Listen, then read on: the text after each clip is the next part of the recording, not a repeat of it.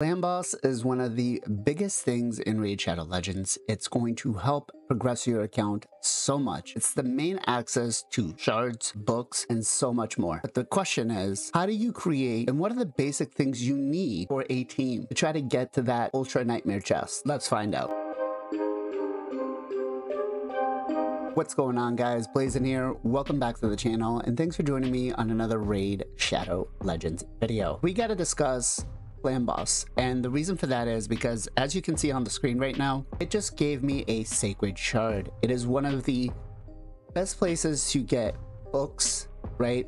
To get shards, which we need for the fusions or to acquire new champions.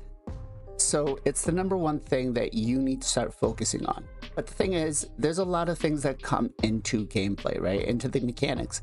And so there's some things you need to know on how to create your clan boss team. Now, most of us are going to use what we call an unkillable team, right?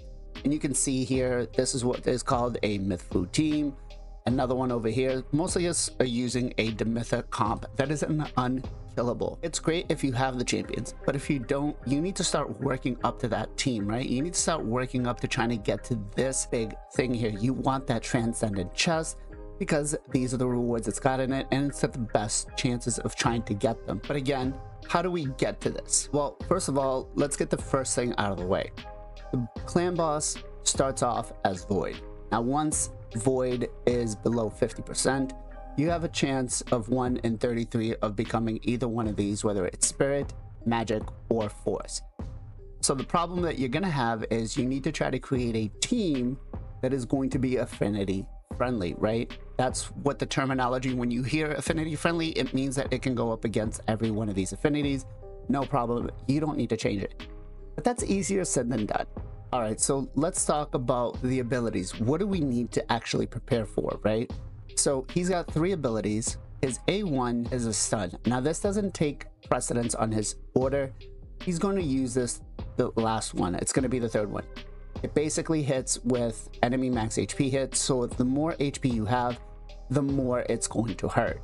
So when you hear what's called a stun target, this is what they mean by it, right? Usually champions for this have a higher defense with lower HP to make sure that they mitigate a lot more of the damage. So this will always happen on every third turn. He will not open with this. Next up is his A2, right? Will place an increased attack on himself and place a decreased attack on you. But depending on the affinity, so if he's magic affinity, he's going to place a decreased accuracy. If he's spirit affinity, he's going to place a decreased speed, which is probably one of the biggest problems a lot of the players face is uh, spirit affinity.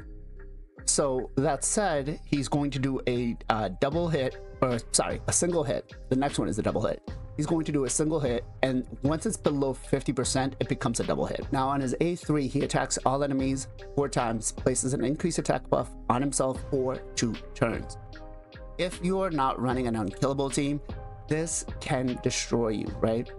After 20 turns of his turns, the damage that he puts out is significant and there is a big boost to it, right? So making sure that you deal with this adequately is going to be a big thing. As for his passives, he's he gets decreased on the HP burns and the poisons on what he can actually take. He's not he's not susceptible to decreased speed, sleep, stun, fear, any of that. He's immune to basically any sort of CC manipulation. All right, so let's talk about debuffs next, right? These are gonna basically either help us boost our damage or make sure that we are surviving as much as possible. The one thing that you do wanna take into account is the debuff bar stacks up to 10. That's it. You can't put more than 10 debuffs up. You can increase the duration, but that's it. So with that said, we gotta be a little careful with what we bring in for the the debuffs.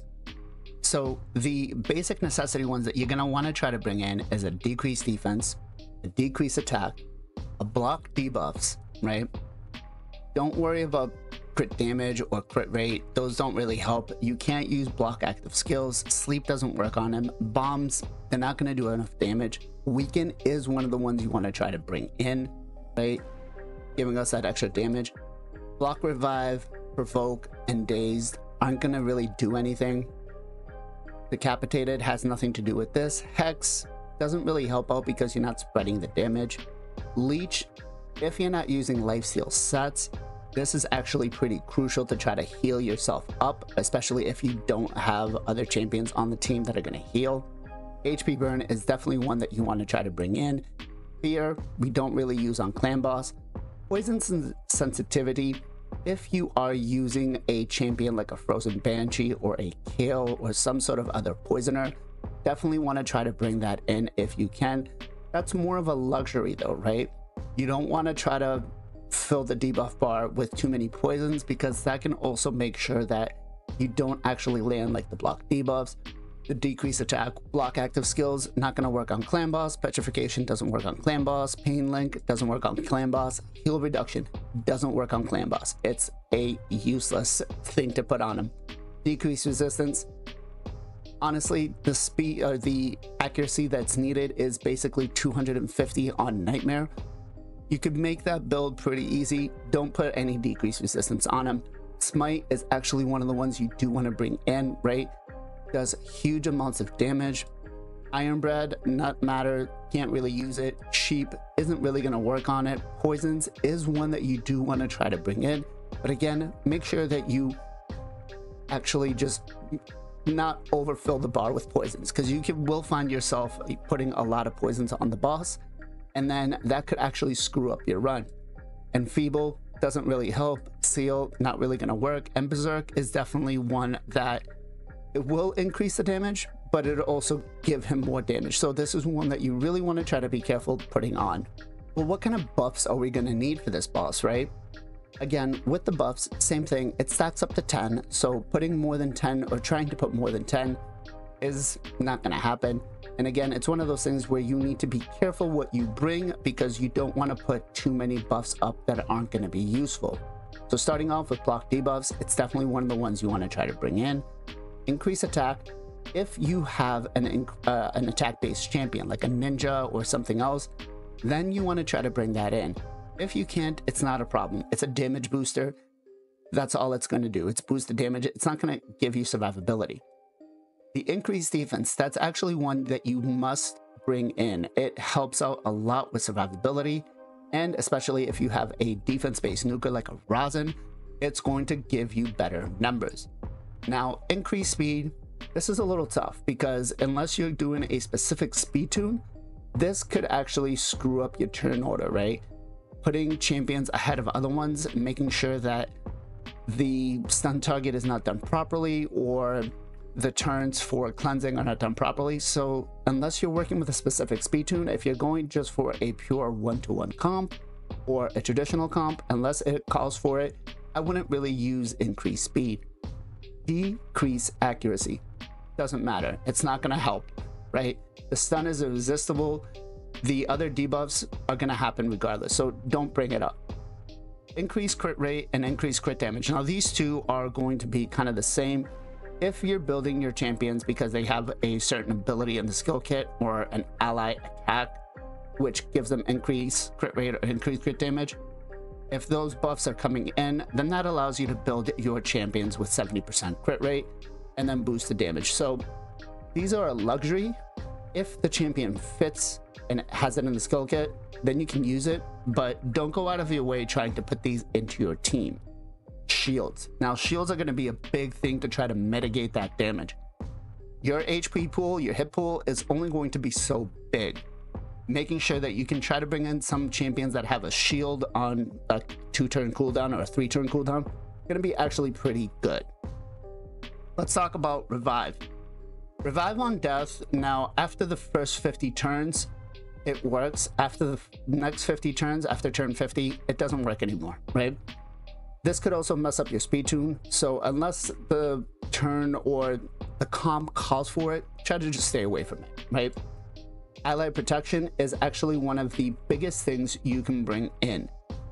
Making sure that you take less damage and it transfers it to the uh, protector themselves is a big thing. Now, there are a couple of things that you need to take into account with an ally protection. And the biggest one is just make sure you don't put a lot of crit damage on whoever the protector is, basically who's ever casting this. If you do, that's going to cause more damage to them there's we'll do a, a guide later down the line where it's a little more in depth. Let's talk about unkillable. Now, unkillable, unless you're running an unkillable comp, this is definitely one that you want to try to bring in, especially the champions are going to be a little heavy on damage taking, right? So it does help if they have like a two turn again, but this is more specific to a uh, specific speed tune or a specific composition. But champions like a Skullcrusher who do have like a counter attack and a one turn unkillable on themselves, that'll work. Reflect damage, it can help. It's not a great thing. It's not going to reduce the amount of damage you take, it just reflects it, right? So with this one, I wouldn't really worry too much about it. Rage is not one that we're going to be able to use. Veil. Veil is actually one that can reduce the amount of damage you take on AoE hits. It can help out quite a bit. Champions like Duchess that have it work out well. Uh, it also do it on solo hits as well too, but it'll do it on a perfect veil will do 15%, on a regular veil, some weaker version is 7.5%. It helps, but honestly, I wouldn't count too much on it because it's very inconsistent unless you can keep it up 100% of the time. This isn't one of those buffs that I would worry to keep up too much. Counterattack. Counterattack comes in and it's probably one of the better things to boost your damage. Basically, free attacks. Every time the boss attacks you, you gain more damage back. It helps. It's not a necessity though, right? So if you really want to try to bring it in, and there's very minimal champions that have this, so you probably won't. By the time you get a counterattack champion, you'll already have an unkillable team. Strengthen. Strengthen is actually going to help you increase the versatility of your champions, or not versatility, but I guess the survivability of your champions, right? Uh, giving you a 15 or 25% strengthen basically means you're taking that much less damage. Eternal Rage is something you don't do. Block damage, now this is what I was talking about, the Demytha comps. These are basically, you take no damage at all whatsoever, so if you have a specific comp that can use this, then I would say go for it, right? Blocking any damage coming in would definitely help. Unkillable teams and block damage teams are abusing this all the time. Life Barrier. Life Barrier doesn't have anything to do with this. Poison Cloud has nothing to do with us as well. Stone Skin. Stone Skin is not something you really want to bring into Clan Boss. It's a one turn or two turn thing. So don't build your champions looking for Stone Skin trying to help you survive. Vengeance, not something we do here. Serpent's Will, not something we do here. Increased resistance, not to help. You can have as much resistance as you want on it. You're still to get 3%ed. So don't bring that on. Bone Armor is a blessing. You could, but I think trying to boost your damage, you're to find a different blessing on.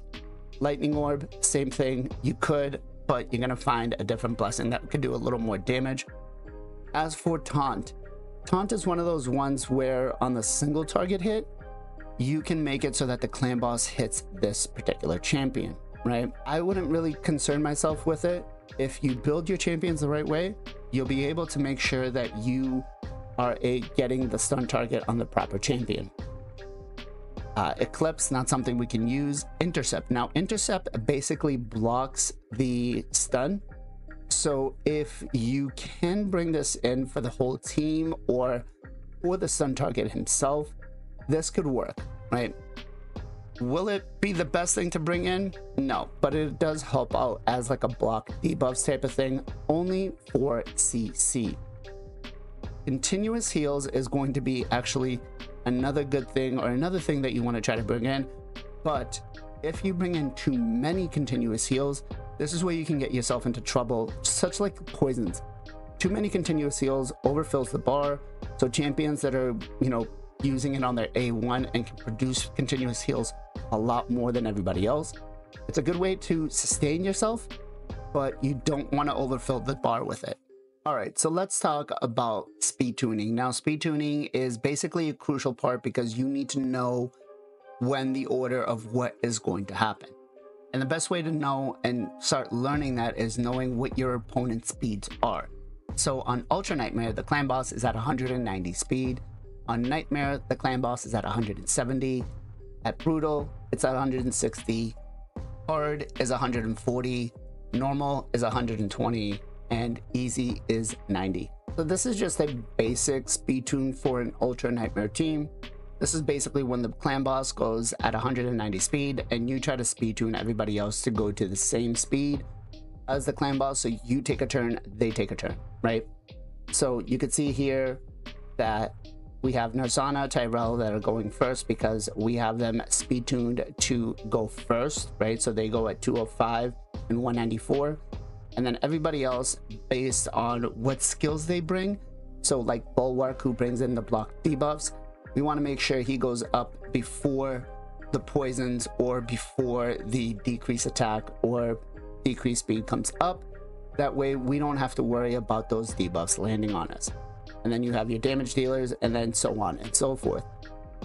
Trying to make sure you come up with the good speed composition and the right composition for the speed tuning is key to making sure that you last as long as possible and do as much damage as possible.